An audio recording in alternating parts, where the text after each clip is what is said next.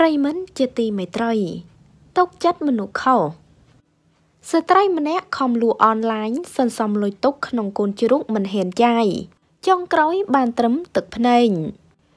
ចាថាតើរឿងនេះបែបណា បានជាធ្វើឲ្យនារីម្នាក់នេះត្រយំឥឡូវយើងតាមដានព័ត៌មានលំអិតទាំងអស់គ្នាស្ត្រីជាអ្នកលក់ដូរអនឡាញម្នាក់ខំសន្សំលុយទុកមិនហ៊ានចាយ វាយផ្ដេសផ្ដាស់នោះទេ ហើយស្របពេលរវល់រឿងកូននិងប្តីឈឺនោះក៏ត្រូវមានមនុស្សដែលខ្លួនទុកចិត្តឲ្យមកនៅជាមួយឆ្កឹះយកលុយខំសន្សំនោះអស់ជាហេតុធ្វើឲ្យស្ត្រីរូបនោះខកចិត្តបានត្រឹមទឹកភ្នែកស្ដាយលុយប៉ុណ្ណោះម្ចាស់គណនី Facebook មានឈ្មោះថាប៉ៅសុភ័ក្របានបង្ហោះសាររៀបរាប់ទាំងទឹកភ្នែកកាលពីថ្ងៃទី22ខែធ្នូឆ្នាំ2020យ៉ាងដូចនេះថា លុយចំណេញលក់អនឡាញខំសន្សំទុកមិនហ៊ានចាយសូម្បីតែលុយប្តីឲ្យមកទុកប្រើ ប្រចាំថ្ងៃខ្លះក៏សន្សំទុកខ្លះដែរចុងក្រោយត្រូវគេខ្វះយកអស់បន្សល់ទុកតែប៉ុណ្ណឹងប៉ុន្មានអាទិនរវល់រឿងប្តីឈឺផង កូនឈឺផងមិនបានចាប់អារម្មណ៍ផ្ញើកូនតែនឹងគេទុកចិត្តគេពេញចុងក្រោយគេលួចឆ្កឹះអស់ ស្ត្រីរូបនេះបន្តថាលុយដែលប្រឹងរកដោយកម្លាំងញើសឈាមលក់ម្ដងម្ដងមិនងាយទេសម័យកូវីដទំរាំបានចាញ់អីវ៉ាន់មួយកញ្ចប់ពីរកញ្ចំនិយាយឡើងស្អកកទំរាំគេទិញខំអាណិនទៅយកមកនៅជាមួយ តែលទ្ធផលគេយកអស់គ្មានសល់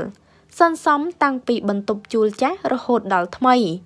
ទៅហ៊ានដាច់ចិត្តបោកព្រឹកមិញស្រាប់តែអស់រលីង ប្រភពបញ្ជាក់ទៀតថា ធ្វើបុណ្យចំមនុស្សខុសខ្ញុំយំព្រោះស្ដាយលុយដែលខ្ញុំខំសន្សំព្រោះមិនងាយរកបានទេខ្ញុំមិនរករឿងទេ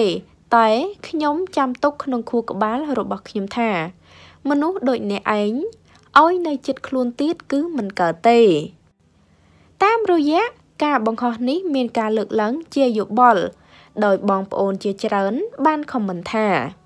សម័យនេះមនុស្សកុំទុកចិត្តមនុស្សពេញស្គាល់តែមុខស្គាល់តែមាត់តែមិនស្គាល់អំពីចិត្តគេនោះឡើយចាពិតជាអាណិតដល់បងស្រីម្នាក់នេះមែនយើងឃើញថាអង្គុយសោកស្ដាយលុយជាខ្លាំងកូនជ្រូកឡើងប៉ុណ្ណាប៉ុណ្ណៃពេលបោកមកមានតែលុយប៉ុណ្ណឹងដោយមានអ្នកដែលនៅជាមួយ គឺឆ្កឹះយកអស់បងប្អូនដែលធ្លាប់សន្សំលុយក្នុងកូនជ្រុងច្បាស់ណាស់ប្រកាសជាយល់អារម្មណ៍មួយនេះ យើងមានកូនជ្រូកមួយ អារម្មណ៍របស់យើង គឺបដោតលើវា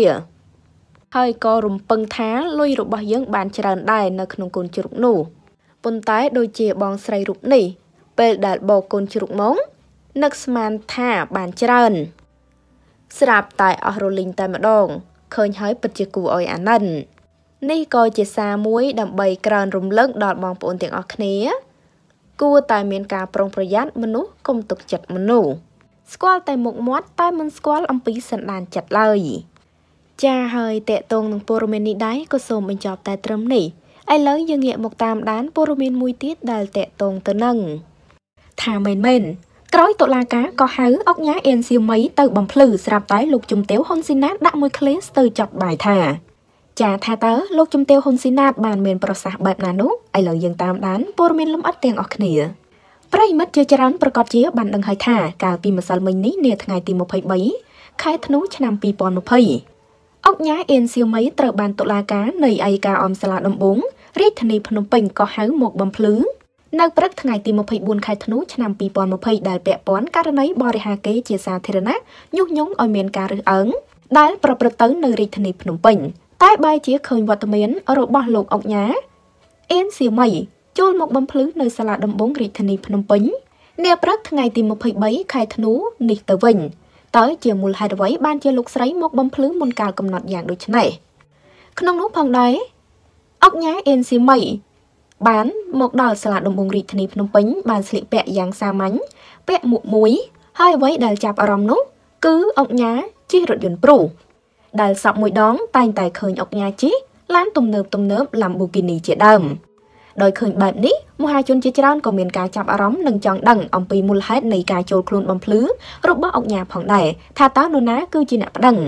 ទន្ទឹមគ្នានេះផងដែរបើក្រឡេកទៅមើលគណនី Facebook របស់លោកជំទាវហ៊ុនស៊ីណានក៏បានបង្ហោះសារមួយឃ្លាអានហើយចាប់បាយក្នុងនោះលោកជំទាវបានមានប្រសាសន៍ថារថយន្តមហាទំនើបររយមិនមិនជិះទៅជិះឡានអាប្រុសវិញលោកជំទាវអង្គញាដែលសារមួយឃ្លានេះ ពិតជាធ្វើឲ្យមហាជនមានការចាប់អារម្មណ៍និងចូលបញ្ចេញមតិស្ទើរតែគ្រប់គ្នាចានេះគឺជាសារមួយឃ្លាពីសំណាក់លោកជំទាវហ៊ុនស៊ីណាតបន្ទាប់ពីឃើញអង្គញាអ៊ីនស៊ីមីចូលទៅបំភ្លឺនៅតុលាការជិះរថយន្តព្រុសដែលសពមួយដងយើងដឹងហើយថាអង្គញាអ៊ីនស៊ីមីតែងតែជិះរថយន្តស៊េរីទំនើបតម្លៃកន្លះលានឬជិត1លានដុល្លារឯណោះតែម្ដងនេះជិះព្រុសទៅវិញដែលធ្វើឲ្យលោកជំទាវហ៊ុនស៊ីណាតដាក់មួយឃ្លាអានហើយចប់បាយចាតើប្រិមិត្តយល់យ៉ាងណាដែរសូមចូលបញ្ចេញមតិម្នាក់មួយ តេតងនឹងព័ត៌មាននេះដែរក៏សូមបញ្ចប់តែត្រឹមនេះសូមចុច Subscribe និងរូបកណ្ដឹងដើម្បីទទួលបានព័ត៌មានថ្មីៗជាបន្តទៀតសូមអរគុណសូមគោរពលា